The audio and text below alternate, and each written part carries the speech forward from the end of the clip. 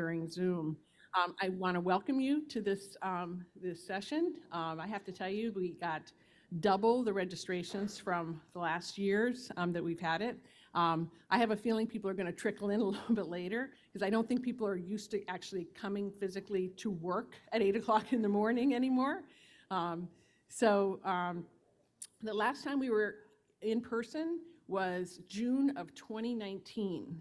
Okay, so I know a few months later, the world changed. And, you know, so it's just like so good to see faces again. I think, you know, it feels like the world's coming back, back to us. So that's really fantastic.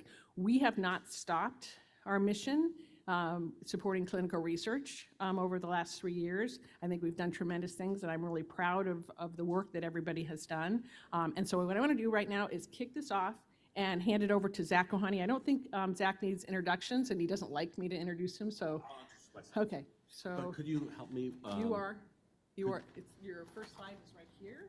And moving the slides will be like this? Probably Not. this one, maybe? Oops, no, that won't do it. Mark, do you know how to advance the slides? All right. I brought backup, so.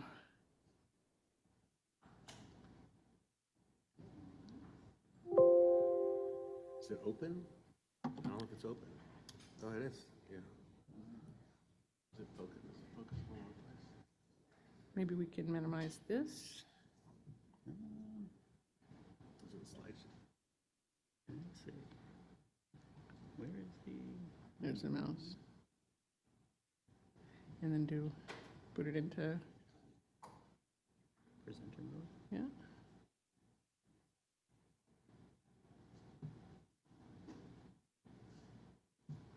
Whoa, Took quite a step.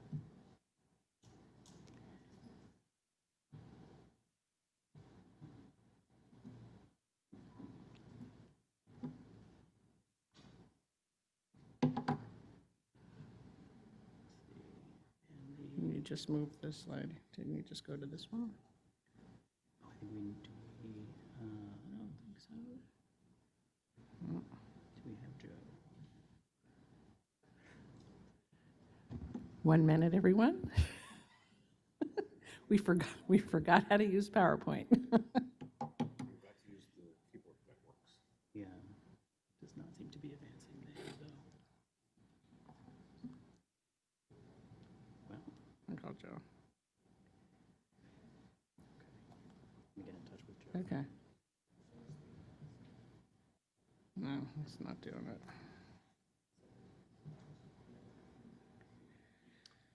Why don't, Why don't I just start? why don't you start? All right. Well, uh, welcome everybody uh, to um, our annual meeting. Uh, My name is Zak Kohane. A few of you uh, don't know who I am, so I'll just briefly uh, summarize. I'm uh, the department chair of the uh, Department of Biomedical Informatics here at uh, Harvard Medical School. Well, we're right now at next to Harvard Medical School. Harvard Medical School, I believe, is that way. Um, and um, I've been working with colleagues here on I2B2 since approximately, I think, 2005. And um, what I would first like to do, if possible, well, it's really not moving forward, um, is first of all, thank uh, our sponsors, uh, because uh, without them, we would not have uh, been able to uh, have this meeting. And first, uh, I'd like to thank Dell Technologies, who have not only sponsored this conference, but actually funded several of the initiatives that you'll hear about today. Are we good? Wait, wait, don't go away. There we go.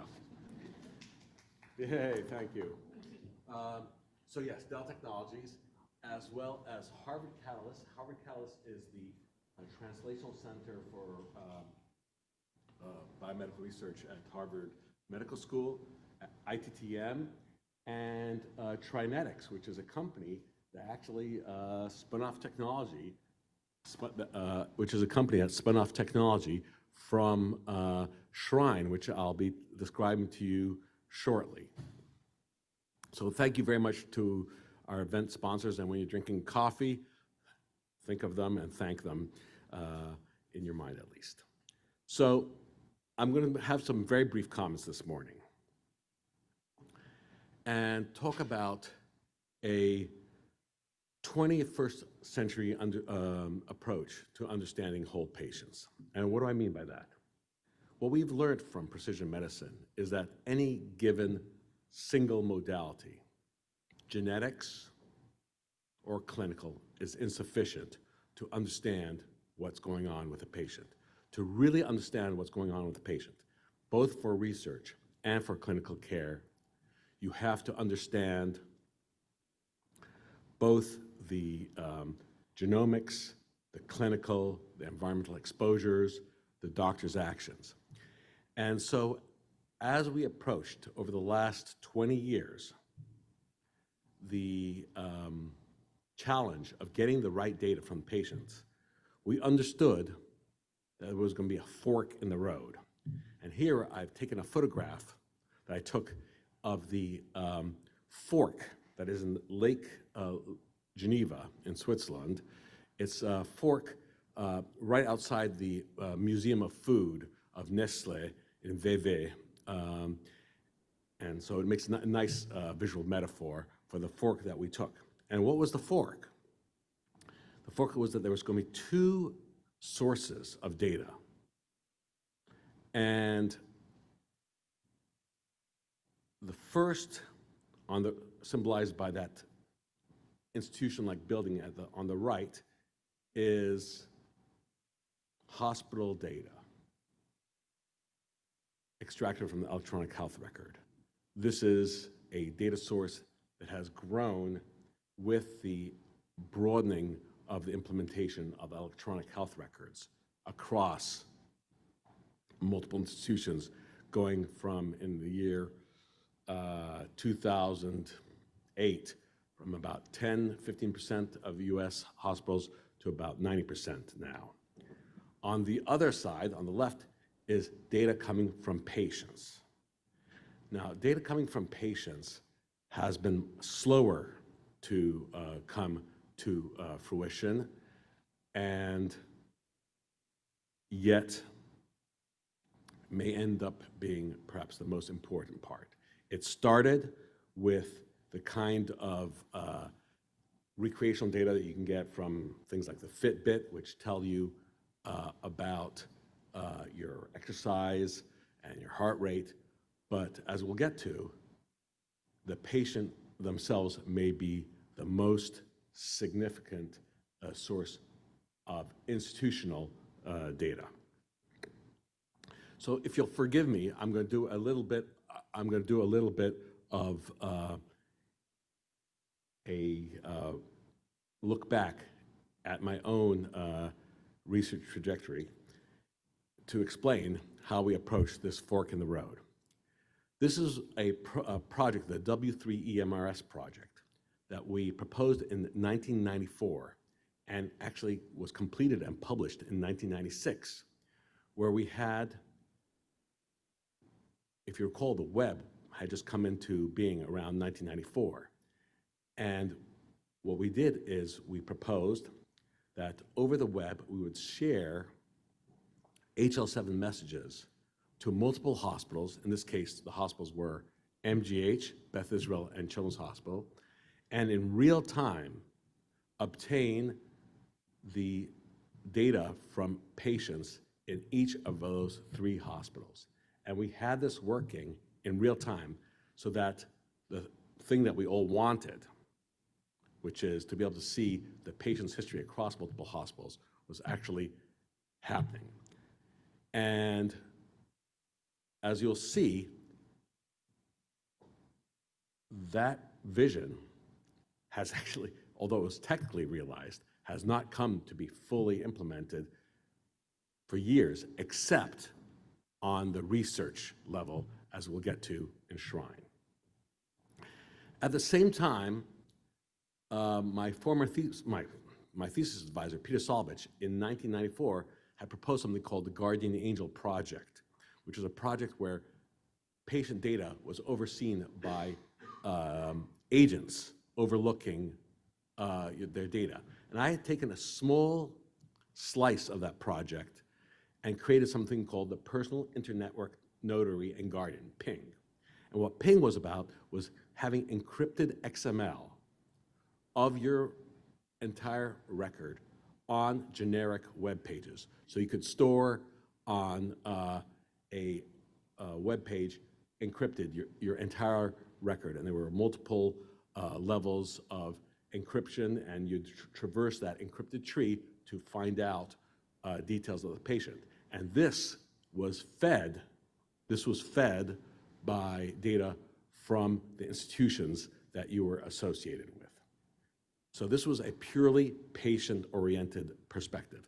Now, it turns out that when we developed this, Microsoft and Google actually uh, heard about it, and in fact, we had a conference describing it, and they had adopted, much to their chagrin, this technology. So, for example, um, Microsoft had something called HealthVault, which actually used some of this technology in them.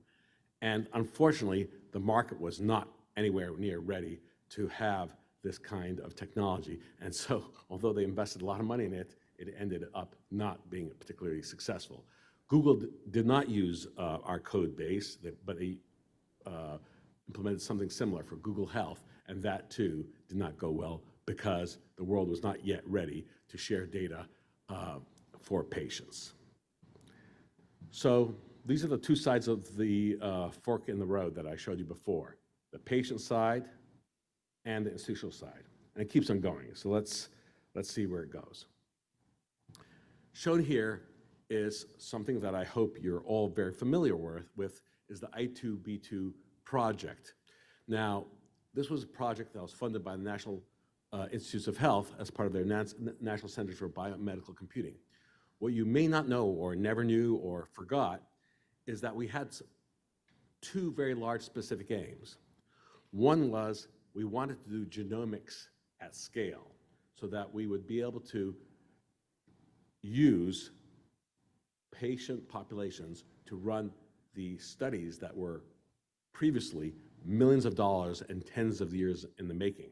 And we showed how we could use discarded specimens and the phenotyping from the electronic medical record to actually be able to characterize thousands of patients and gather their, their samples so we could run genome, genome-wide association studies for lit- literally 1% of the cost and easily 1/20th of the time of uh, standard uh, cohorts.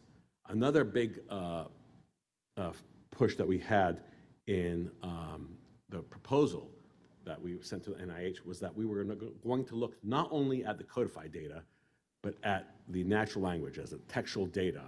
And there was a big effort that we uh, led in transforming text into codified data so that we could actually systematize these kinds of um, analyses. And that led to several large studies, which I will not summarize, but you're free to look them up.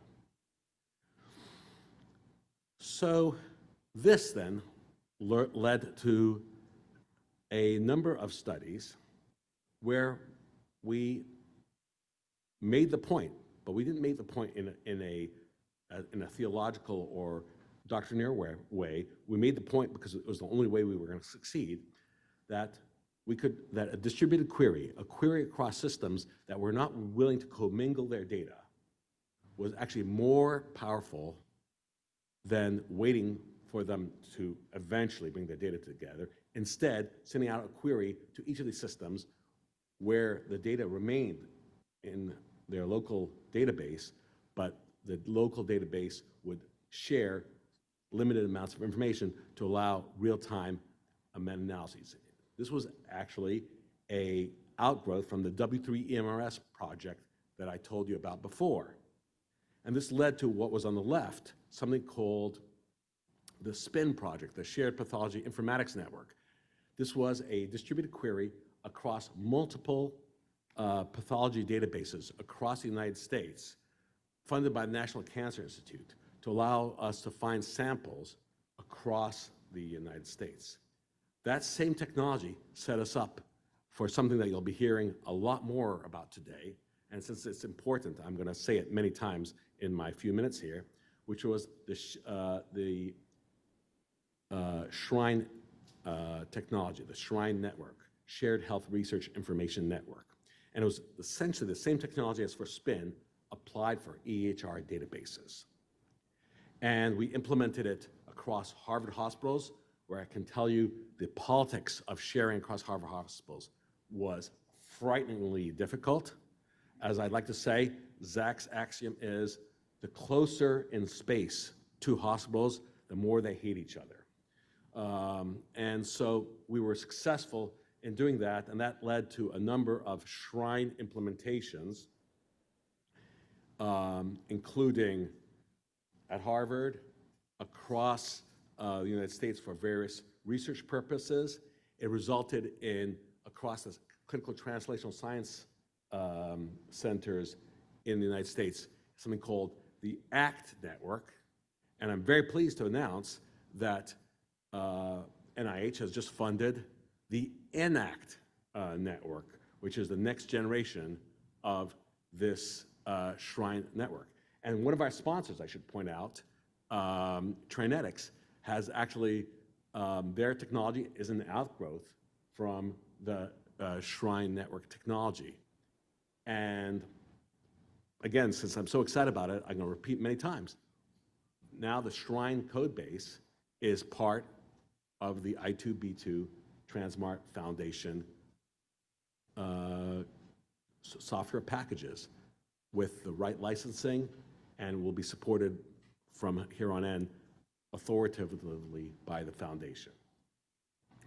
So that's, I think, a pretty, uh, how would I say it? A pretty um, productive uh, continual thread going from W3 EMRS to ENACT. But I would be uh, remiss if I did not point out continued success on the other side of the fork, namely patient-driven records. So back in 2009, with my colleague Ken Mandel, we uh, recognized that there was uh, an amazing um, development happening with the iPhone, which at the time was new, and which was that you could have apps generated for a feature, like a camera, using the camera um, electronics and um, optics of the iPhone. But if you didn't like one camera app, you could download another camera app. And it was absolutely non-technical to do the replacement. It was completely modular. And we realized that you could not do that for an electronic health record. If you did not like the order entry system, you couldn't just uh, replace the order entry system. You'd have to replace the whole EHR, which meant you'd have to fire the CEO of the hospital who had just spent a billion dollars on that uh, system. And so we said, why couldn't healthcare be more like that? So we defined basically an, an API called SMART on FHIR. And uh, through a long uh, story, which I don't have time to tell you here, through a long story that I don't have time to tell you here, uh, SMART on FHIR was implemented by six out of the top seven electronic health record vendors, including Epic and Cerner. And there's a long story to be told about that. But the patient side of the story is completely unexpected, and I certainly didn't predict it. But as I always like to say, better be lucky than smart. So there was someone by the name of Ricky Bloomfield who implemented the SMART on FHIR stack on top of Epic at Duke University. And then he was hired by Apple. And he left Duke and he implemented the SMART on FHIR stack in the Apple Health uh, ecosystem. And not only that, he arranged for multiple negotiations, hospital after hospital, so that, for example, if you- you're a patient in, uh, with MGB in Boston, you can see on your iPhone in Apple Health your labs, your procedures, your diagnoses, the um, demographics, in addition to all the other uh, things that the Fitbit gets. But you get from the hospital your, your medications, all in a standardized terminology. And they now have reached over 800 hospitals in the United States. That's 40 million Americans, and they're well on their way to about 2,000 in two years. So they'll have most of America um, patient-enabled to access the data and to share their data. There's lots that this is going to um, enable, and is Rahil going to be speaking with us today? And you'll hear uh, from um, one of our um, researchers how this data repository is being used in a way that, uh, well, I don't want to steal his thunder, that will be exciting and change perhaps uh, how we support uh, patient decisions. So I'll stop there with regard to the narrative, but just say we're now in this great, brave new world in the 21st century where we've really opened up electronic health record systems and we've really opened up the ability of patients to control the flow of that information. And um, I'm very excited that the I2B2 Transmart Foundation is at the center of this. So quickly, let's talk about the highlights. There's been a new software release for I2B2 and Transmart. We've been very, very busy supporting uh, COVID research internationally across eight countries, 230 hospitals as 4CE. Nationally, looking at uh, the post-COVID efforts, Recover.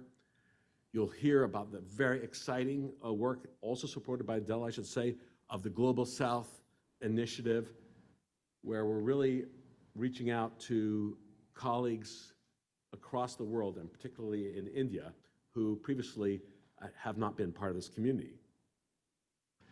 You'll be hearing um, about some really interesting technologies, about a FHIR server on top of InterSystems, which is a intermediate on its, uh, on its way to the I2B2 system supported by InterSystem. You'll hear there's been a serverless uh, deployment of I2B2 in the AWS cloud. You'll hear from our colleagues in France about this amazing thing where boneheaded doctors like me can use an ultrasound and become all this, all, all this cardiac ultrasound, all of a sudden become expert ultrasonographers by virtue of the use of artificial intelligence to uh, guide us. You'll hear, uh, as I told you about, uh, a patient perspective from access data from Rahil, Sa- Rahil Saeed. I told you about that already. And you'll hear from Messiah Tabet at Dell and from Shawn Murphy about I2B2 support for a digital twin. You'll hear, also hear from uh, updates from the European community. I just got a little bit before, when I was drinking coffee, a little bit of a um, uh, advanced uh, taste from uh, Ulrich Sax and Jonas, and I think it's going to be very exciting. You'll also be hearing what's coming up next uh, with NCATS. I'm sorry for stealing uh, the thunder and telling you about the, uh, the, uh, the follower on of our um, ACT network, ENACT. You'll hear about the very exciting and beautiful, mwah, no longer uh, 1990s uh, uh, user interface to um, I2B2. You'll be hearing from Bill Simons about the Shrine 4.0 release, and there'll be an open discussion around uh, the uh, I2B2 uh, roadmap. In the day two, you're gonna, that's when we roll up our sleeves, and you'll hear, uh, this will be much more hands-on. Uh, You'll hear about updates about ontologies, about ETL, about user interface. You'll learn more about Enact, and there'll be technology work, workshops. And I've said this already, but I am excited about it. I really want to welcome Shrine, this distributed uh, uh, query uh, system and software stack, to the foundation.